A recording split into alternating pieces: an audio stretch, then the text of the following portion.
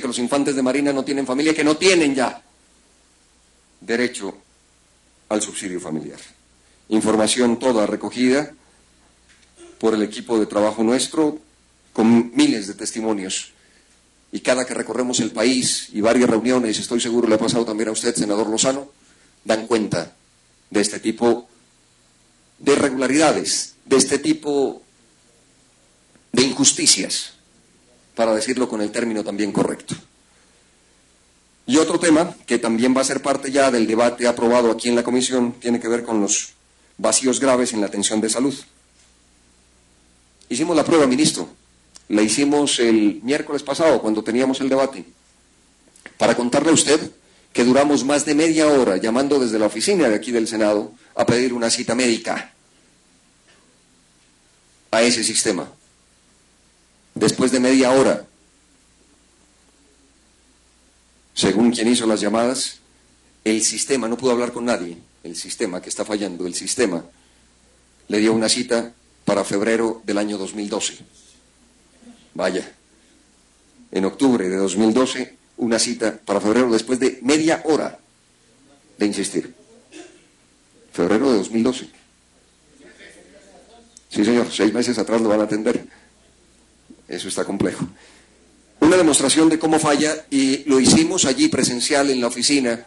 Empezamos a hacer las llamadas más de media hora. Más de media hora. Es el sistema. ¿Y qué ocurre? Pues que la contratación de las personas, tanto del área misional en el tema de sanidad como del administrativo, se hacen por contratación de prestación de servicios. Aquí, de nuevo, era importante que esté el ministro del Trabajo. Ahora que estamos decididos, según el gobierno, a una lógica de bajar la informalidad, subirle a la formalidad laboral, ¿qué está pasando allí? Hay una sola diferencia entre los misionales, es decir, los médicos y demás, y los administrativos, que a los administrativos les interrumpen periódicamente el contrato para que no se cree vínculo laboral. ¿Qué opina el ministro de Trabajo de ese tema? En cambio, a los que tienen que ver con el tema misional, hay una contratación continua. Pero queda claro entonces que cuando hay esas suspensiones, se van a generar debilidades. Es todo un sistema que debe funcionar bien. Y si el tema administrativo no tiene garantías adecuadas, pues va a fallar. Y aquí estamos hablando de la pregunta clave de todo esto. ¿Por qué no hay vinculación de tiempo completo, trabajo decente, trabajo digno? Con estas personas que tienen a su cargo la responsabilidad gigantesca que es la sanidad de nuestra fuerza pública. Es recurrente también, lo hemos escuchado en varios recintos, la no disponibilidad de los medicamentos. Pero dentro de la normatividad está que si no existe el medicamento, se comprometen en tres días a enviarlo a la casa. Y varias también razones tenemos de testimonios que no llegan esos medicamentos que ya fueron autorizados. Nuestra pregunta es qué ocurre con esos medicamentos que ya fueron reconocidos, que se entregaron formalmente, pero que no llegan a su destinatario. Es complejo este tema de salud, ministro, y vale la pena para ese debate. Lo voy a dejar en términos aquí muy gruesos planteado porque tiene muchas aristas, muchos detalles. Uno de ellos es la calidad, cómo entran nuestros soldados, nuestros infantes, cómo ingresan nuestros policías, los requisitos para ingresar y cómo deben estar en, en términos de salud y cómo salen de nuestra fuerza pública. Por supuesto, los costos de la guerra que esta sociedad escogió como camino absurdo. Hemos hablado entonces grosso modo, de problemas comunes que existen tanto para nivel ejecutivo de la policía como para soldados profesionales e infantes de marina. Ahora quiero adentrarme en algunos problemas particulares Doctor de cada uno de Camilo, le quiero informar que su intervención eh, lleva 27 minutos. Le agradecería que tratemos de redondear para que en tres minutos o en el tiempo que usted considere, pero porque por favor nos diga en qué tiempo considera pertinente terminaría la intervención. Hablemos de 10, 15 minutos, eh, presidente.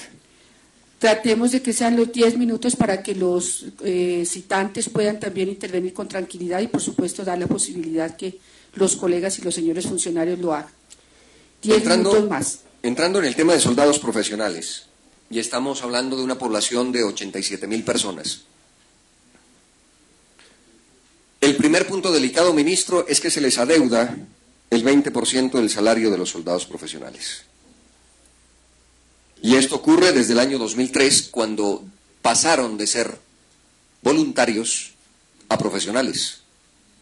Ese cambio, pues implica, de acuerdo a la normatividad, un pago del salario mínimo más el 60%. Y resulta que se les ha pagado más el 40%. No el 60%, sino el 40%. Y estoy hablando del salario base. ¿Esto qué implica? Pues que hay afectaciones también en todas las prestaciones. Si el salario base no fue ajustado de acuerdo a esa normatividad, pues habrá también que ajustar a todas las prestaciones. Hay que decirlo, ministro, ustedes lo deben saber. Aquí se redujo el 20% el salario de los soldados profesionales, pero ha habido demandas, ha habido expresiones de defensa. Y resulta que 2.000 demandaron y ganaron. Es decir, ganaron el derecho a que se les pague ese 20% más. Y cuando se gana ya en justicia, pues se espera que el gobierno actúe en consecuencia. Y aquí, ministro, va la mayor de las críticas que tenemos a quienes son responsables de este tema. Es que han utilizado una estrategia de dilación, una estrategia perversa de dilatarlo todo a través de la rama judicial para no cumplir con estas personas. El ministerio lo que hace es seguir dilatando y no tomar el toro por los cuernos para decir de una vez por todas que si dos mil soldados ganaron esta demanda, pues hay que universalizarlo al resto que tienen derecho para hacerlo. No podemos esperar que todos demanden para que el ministerio diga, ah, bueno, hay que pagar. No tiene sentido, no tiene lógica, no tiene ética, no tiene esto razón al término que expresamos desde el inicio, ministro, bienestar. Bienestar de nuestra fuerza pública. ¿Dónde nos queda esa palabra con tantos temas que aquí hemos tocado? Otro tema para que lo revisemos, ministro, el reajuste de la asignación de retiro. Hay un decreto que es el 4433 del año 2004. Y la información que tenemos y los cálculos que hicimos con algunos soldados profesionales en retiro nos dan una claridad, y es que Cremil no cumple con ese decreto. Ese decreto dice cómo debe hacerse la asignación de retiro y Cremil lo hace de otra manera. Lo hace como se le antoja, pero el resultado práctico para los soldados es un poco más de 90 mil pesos al mes. Lo que significa hacerlo de una manera u otra. Segundo tema, entonces, reajuste a la asignación de retiro. Tercero, la cédula militar, y aquí saludamos el propósito, la iniciativa del senador Virgüés, quien ha planteado un proyecto de ley para que esto se resuelva. Pero finalmente, la Comisión del Servicio Civil del Estado deja claro que los soldados profesionales son militares. Y si son militares, ¿por qué no tienen cédula militar? tendrían derecho a esa cédula militar. Y el ministerio no se los entrega. Hay allí entonces una contradicción entre la Comisión del Servicio Civil del Estado y el Ministerio de Defensa. La respuesta que da el Ministerio es que no hay disposición legal. Por eso digo importante el proyecto de ley del senador Virgüés.